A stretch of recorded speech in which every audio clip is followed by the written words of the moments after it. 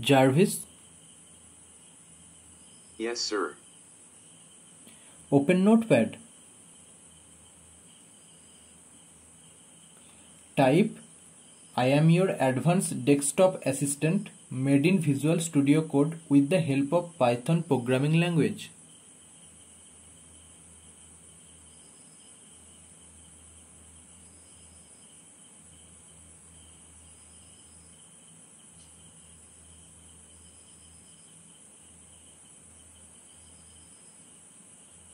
Close Notepad.